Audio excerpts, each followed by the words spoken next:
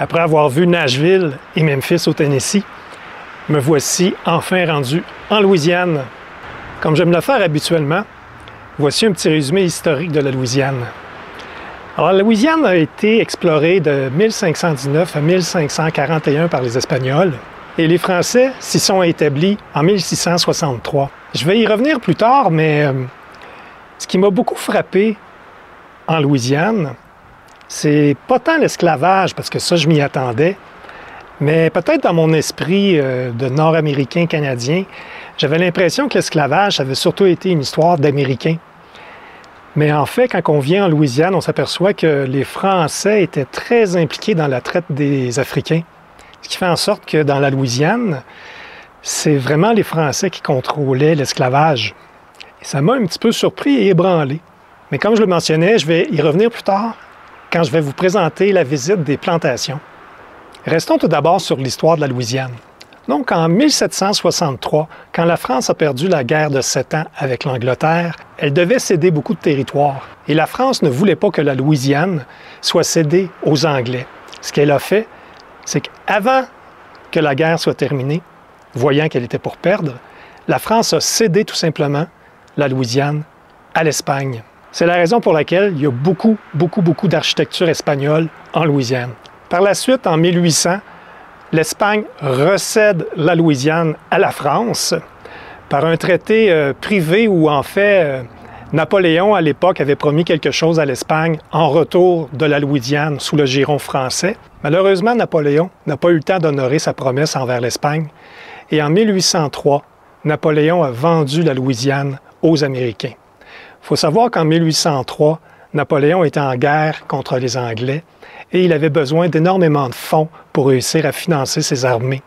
Alors, ce qu'il a trouvé comme solution, c'est de vendre la Louisiane aux Américains qui cherchaient à agrandir leur territoire pour financer ses guerres. Il a vendu la Louisiane en dollars d'antan.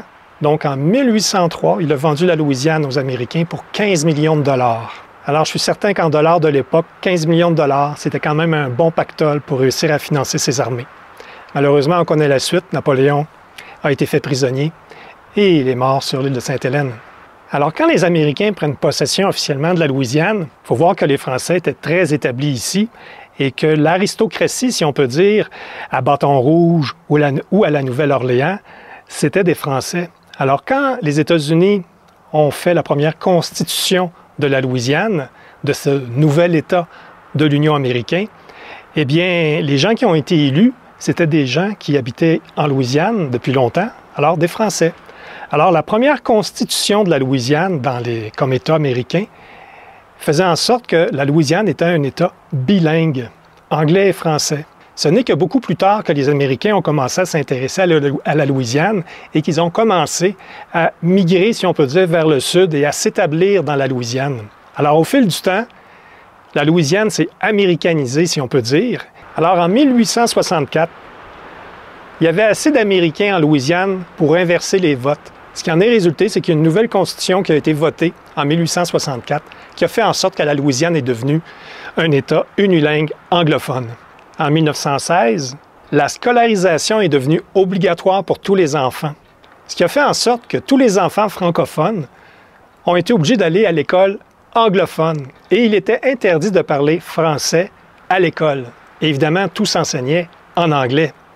Donc, c'est à partir de 1916 que le français a commencé à disparaître et que les gens, les francophones comme tels, ont été assimilés à la culture américaine. Ce n'est qu'en 1968 que finalement le gouvernement a compris que le français était quand même un attrait touristique et un attrait culturel très important.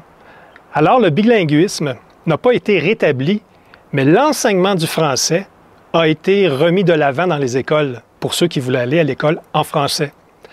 Malheureusement, le temps avait fait son œuvre et l'assimilation était rendue presque complète. Ce qui fait en sorte que très peu de parents qui maintenant parlaient anglais envoyaient leurs enfants à l'école française, ce qui ne faisait pas de sens pour eux, puisque, on le sait, aux États-Unis, la deuxième langue, c'est beaucoup plus l'espagnol que le français. Ici, quelqu'un qui parle anglais et espagnol se débrouille beaucoup plus que quelqu'un qui parle anglais et français. Donc, les écoles francophones n'ont pas vraiment émergé. Il était un petit peu trop tard pour que le français réussisse à s'épanouir de nouveau en Louisiane. Alors, on parle beaucoup au niveau euh, touristique du français en Louisiane, mais malheureusement, il se parle derrière des portes closes. Et souvent, c'est les grands-parents qui parlent français et un des deux parents seulement, ce qui fait en sorte que le français de, génération en génération ne s'est pas perpétué. Il m'est arrivé de rencontrer des Américains qui étaient tout fiers de dire qu'ils étaient cajuns et qu'ils avaient un nom de famille francophone, mais ils m'avouaient que dans leurs souvenirs, il y avait juste leurs grands-parents qui parlaient français mais qu'eux, ils n'ont jamais appris le français. Ils ont des noms de famille très francophones, les affiches sont francophones, les noms de restaurants sont francophones, mais oubliez ça si vous pensez vous faire servir en français en Louisiane. Non, même dans les coins les plus cajuns qu'on appelle, les affiches sont en français. C'est possible d'avoir des visites guidées en français, mais vous ne serez pas servi en français dans les restaurants, les hôtels, les dépanneurs ou les choses comme ça, l'épicerie. Beaucoup des gens qui parlent français encore aujourd'hui en Louisiane le font dans des clubs privés pour euh, garder la langue vivante, mais ce n'est pas dans les commerces que ça se passe. Donc, euh, je dis, euh, prenons par exemple le cercle des fermières, si on peut dire. Bien, des cercles de fermières francophones, ils se réunissent peut-être une fois par semaine et puis ils parlent français entre eux, mais dès qu'ils sortent du local, tout se passe en anglais. On ne pourrait pas savoir qu'ils parlent français. Et ils ne s'exposent pas non plus. Alors, le fait français en Louisiane, c'est vraiment derrière les portes closes. C'est pas dans le grand public. Le trajet que j'ai décidé de faire en visitant la Louisiane est assez simple. Je suis arrivé par le nord et si on arrive par le nord, on passe par Bâton Rouge, qui est la capitale de la Louisiane. Alors ça vaut vraiment la peine d'aller visiter le Capitol Park Museum, qui est juste devant le Capitole, parce que c'est un musée qui résume très très bien toute l'histoire de la Louisiane, des Espagnols en passant par Napoléon, en passant par l'américanisation jusqu'à aujourd'hui. C'est vraiment très intéressant et ça permet de comprendre ce qu'on va voir par la suite en descendant vers le sud. Sans oublier, bien sûr, les plantations et l'esclavage. Évidemment, le Capitole est un lieu public. Moi, je vous suggère fortement d'aller le visiter et de monter au 27e étage où il y a une passerelle tout le tour du Capitole qui nous permet de voir à 360 degrés la ville de Bâton Rouge. C'est très intéressant. Les bâtiments en bâton rouge sont très bien préservés. Les rues sont très, très belles, les bâtiments sont beaux, c'est très intéressant à visiter. Et l'accès au Mississippi est très facile. Difficile d'être plus près que ça du Mississippi. Plus près que ça, j'aurais les deux pieds dedans.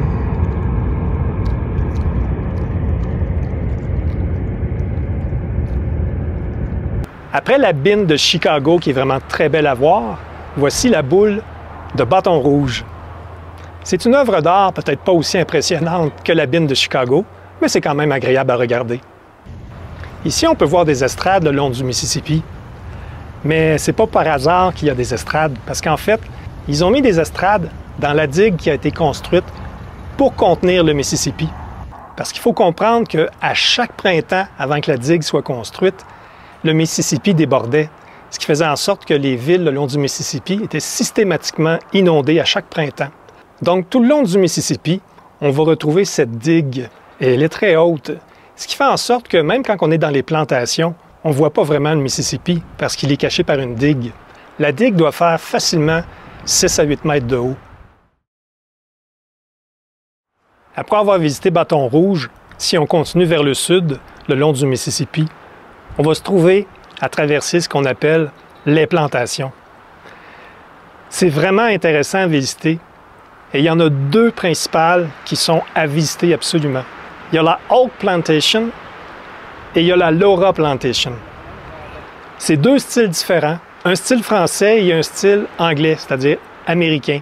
Les grandes maisons blanches avec les colonnes qu'on imagine tout le temps quand on pense aux plantations du Sud, eh bien ça, ce sont des plantations américaines. Alors que les plantations de style française, c'était des plantations aux maisons très colorées, c'est ce qui fait la distinction entre les deux types de plantations, américaines ou françaises. Par contre, au niveau du fonctionnement, le fonctionnement était identique et évidemment, tout était basé sur l'esclavage. Et comme je le mentionnais dans l'introduction, à partir de 1719, il y a un comptoir de traite d'Africains qui a été mis en place en Nouvelle-Orléans par les Français. Alors, il y a des bateaux affrétés par les Français qui partaient en Afrique pour aller capturer les Africains là-bas les amener de force à un comptoir de vente d'esclaves en Nouvelle-Orléans. Il faut savoir que ce comptoir de vente d'esclaves en Nouvelle-Orléans était un des plus prolifiques et des plus gros qui existaient. Et en Louisiane, la richesse ne se comptait pas en dollars. La richesse se comptait en acres de terre détenus et en nombre d'esclaves détenus. À titre d'exemple, Laura, la propriétaire de la plantation que j'ai visitée, détenait environ 70 esclaves. C'était vraiment considéré comme une très, très grande plantation et évidemment, elle était considérée très riche à l'époque. Je l'ai déjà mentionné dans une vidéo précédente, mais un esclave, ça valait entre 25 000 et 100 000 dollars en dollars d'aujourd'hui, selon son âge et ses capacités au travail. Il faut savoir qu'il y avait deux types d'esclaves dans les plantations en Louisiane. Le premier type est celui auquel on pense le plus souvent, c'est-à-dire des esclaves afro-américains qui habitaient dans des cabanes sur les plantations, soit pour cultiver la canne à sucre ou le coton. L'autre type d'esclaves, c'était ceux qui habitaient dans la maison des maîtres. C'était en guillemets les plus chanceux, car eux, ils vivaient 24 heures sur 24 dans la maison avec les maîtres. Ils étaient mieux logés, mieux nourris et ils avaient accès à des soins médicaux, ce qui fait en sorte qu'il y avait une véritable hiérarchie entre les Afro-Américains dans les plantations. Et ça, ça se voyait jusque dans les cabanes, dans les plantations. Toutes les cabanes étaient pareilles, mais ce n'était pas le même nombre d'habitants par cabane. Autrement dit, plus un esclave était important au niveau de la plantation, plus il avait d'intimité dans sa cabane. Le meilleur des esclaves pouvait se retrouver à vivre seul dans une cabane, alors que les esclaves plus bas dans l'échelon pouvaient se retrouver à deux ou trois familles dans le même espace. Maintenant, je vais parler spécifiquement de la visite des plantations. Et la première chose qui frappe quand on arrive devant la plantation, c'est la grosseur de la maison. Et ça, ça s'explique par deux phénomènes, entre guillemets. Le premier, c'est que à l'époque, les gens vivaient toute la famille ensemble. Les frères, les sœurs, les parents, les grands-parents, les petits-enfants. La famille proche et élargie vivait ensemble, 24 heures sur 24, 12 mois par année. Tout le monde était ensemble dans la même maison. Alors, ça prenait de grandes maisons. Mais il faut savoir aussi que les propriétaires terriens qui avaient les moyens, comme la ferme Laura, eh bien, chaque personne avait son esclave. Alors, ça doublait pratiquement le nombre de personnes qu'il y avait dans ces espaces-là. Alors, ça prenait de très grandes maisons pour pouvoir loger tous ces gens-là dans la même maison. Tout le monde avait sa chambre et les gens se rencontraient, se voyaient dans la salle à dîner. Il faut comprendre aussi qu'il n'y avait pas de cuisine à même la maison de la plantation. Et ça parce que c'était trop dangereux pour le feu et il y avait trop d'éménation de gaz toxiques aussi en faisant la cuisine à cette époque-là. Alors la cuisine était toujours à la même place qu'il y avait le puits pour la maison, c'est-à-dire à, l'extérieur. Le puits était à l'extérieur, dans la cour, et à côté du puits, il y avait la cuisine, ou dans le cas de Laura même, les deux cuisines, dont on voit ici les vestiges qui restent des deux cuisines de la plantation Laura. Pour ce qui est des cabanes des esclaves, elles sont toutes pareilles. En voici un exemple. En fait, c'est un bâtiment avec deux entrées, et on peut facilement voir qu'il y avait une partition entre les deux côtés de la cabane qui faisait en sorte que pour une cabane, il y avait deux logis, si on peut dire. Et comme j'ai déjà mentionné, d'un côté, il pouvait y avoir une personne seule si l'esclave était haut placé dans la hiérarchie des esclaves sur le site. Et de l'autre côté, dans la même cabane, il pouvait y avoir deux ou trois familles qui habitaient là. Les plus chanceux au niveau des plantations avaient un foyer et une cheminée à même la cabane. Ils pouvaient faire à manger directement là. Dans la ferme Laura, ce n'était pas le cas. Il n'y avait pas de foyer. C'était vraiment rudimentaire comme espace. Une façon adoptée par les maîtres des lieux pour contrôler les esclaves, c'était deux choses. La première, c'est qu'ils s'assuraient qu'ils demeurent illettrés. Donc, euh, c'était impossible pour un esclave d'apprendre à lire ou à écrire. Ensuite, les maîtres des lieux s'organisaient que pour sur une même plantation, ils achetaient des esclaves qui venaient de régions qui étaient en conflit en Afrique. Donc, en mettant ces gens-là qui étaient en conflit en Afrique sur la même plantation, souvent dans les mêmes cabanes, bien, ça créait des clans et ça faisait en sorte que les esclaves ne réussissaient pas à s'associer pour être euh, contre les maîtres des lieux. Et les maîtres des lieux pouvaient réussir à manipuler un petit peu les esclaves pour réussir à garder le contrôle sur eux sans être obligé de toujours être derrière eux. Pour ce qui est des punitions, tout le monde le sait, elles étaient corporelles. Et en fait, un esclave qui tentait de s'échapper, s'il était retrouvé, malheureusement, c'était le fouet et c'était aussi les chaînes aux pieds qui l'attendaient. À cette époque, un esclave était considéré comme un bien, comme une table ou une chaise. Donc, les maîtres des lieux pouvaient faire ce qu'ils voulaient avec un esclave. Un esclave qui était même à la limite récalcitrant pouvait être tout simplement pendu. Il n'y avait aucun recours pour un afro-américain ou un esclave contre les Blancs à l'époque. Donc, même si, par exemple, une esclave se faisait violer, pour elle, il n'y avait aucun recours légal, puisqu'elle était considérée comme un bien. Un bien ne peut pas poursuivre une personne. On le sait, l'esclavage a été aboli en 1865 lorsque les États du Nord ont gagné la guerre de sécession avec les États du Sud. Et ce faisant, en Louisiane, l'esclavage a été aboli et techniquement, tous les esclaves sont devenus du jour au lendemain des salariés. Mais évidemment, les propriétaires terriens en Louisiane ont contourné la nouvelle loi en présentant une fois par année une facture aux anciens esclaves. Cette facture-là présentait le salaire, entre guillemets, que la personne avait gagné sur l'année. Par contre, le propriétaire terrien déduisait tous les frais qu'il avait encourus pour maintenir la personne sur le site.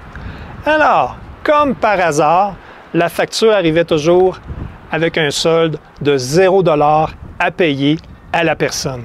Alors, on ne peut pas vraiment dire que les anciens esclaves se sont retrouvés du jour au lendemain des salariés et qui ont eu accès à de l'argent non, parce que pendant plusieurs années après la fin de la guerre de sécession, ce qu'ils ont gagné, c'est de recevoir une facture à la fin, qu'ils ne pouvaient même pas lire parce qu'ils étaient illettrés, qui faisait en sorte que ce qu'ils avaient gagné était égal à ce qu'ils avaient coûté à la plantation.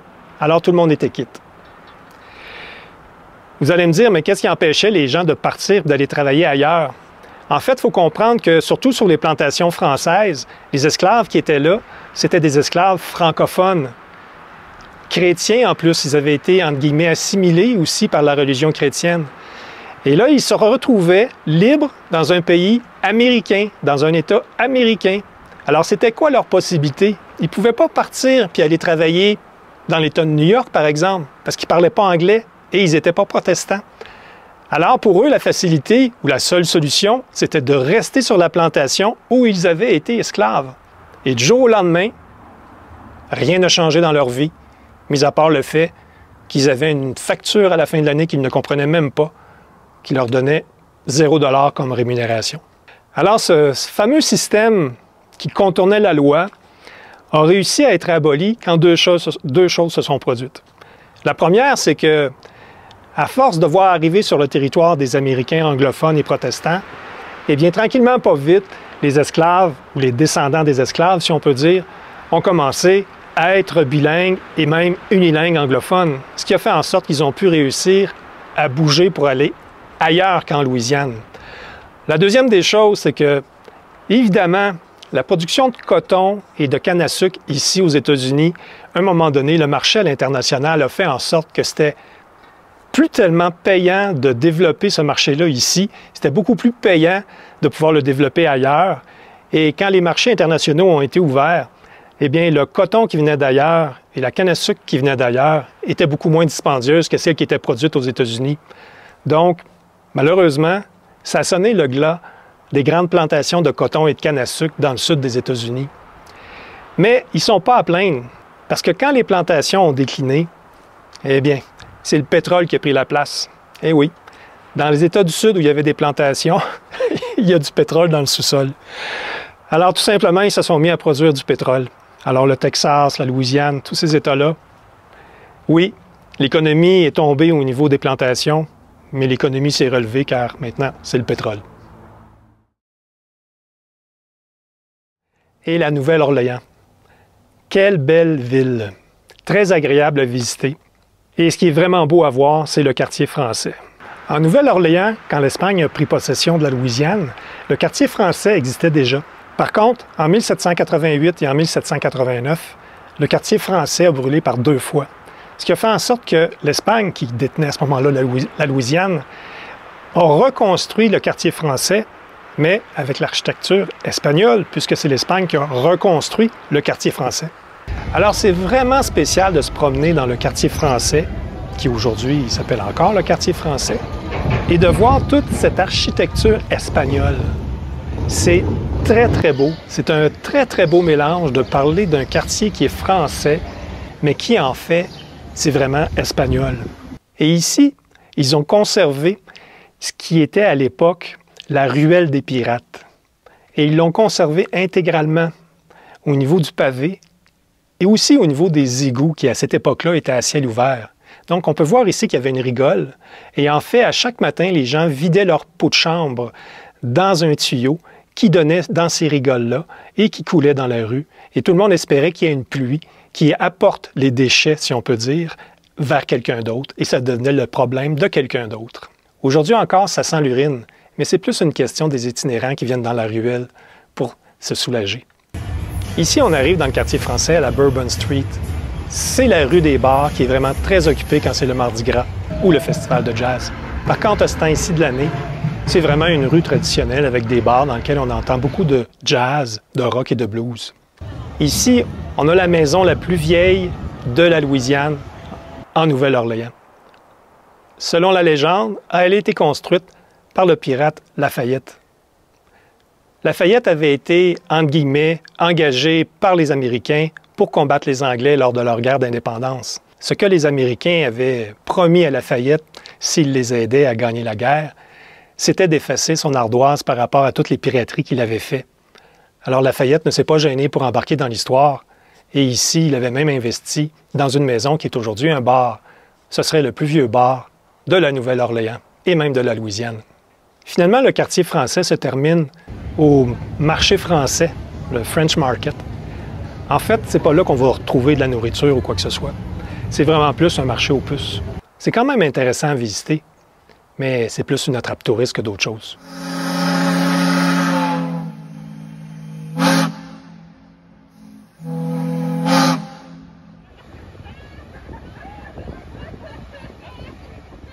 Voilà, c'est ce qui complète ma vidéo sur la Louisiane. Vraiment encore euh, une visite que j'ai beaucoup adorée. La seule chose, c'est que je n'ai pas pu visiter autant que j'aurais voulu parce que à ce temps-ci de l'année, la météo n'est vraiment pas très bonne en Louisiane. Il pleut énormément, ce qui fait en sorte que, après un certain temps, bon, j'en avais assez d'attendre que le beau temps revienne et je suis parti.